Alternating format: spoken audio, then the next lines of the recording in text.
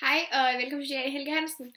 Øhm, I dag, som du kan se, vil jeg lave et øhm, forår makeup look, hvor jeg sådan set vil tage udgangspunkt i den her læbestift, jeg har fået af min kusine fra H&M. Øhm, ja, så jeg synes bare, vi at komme i gang.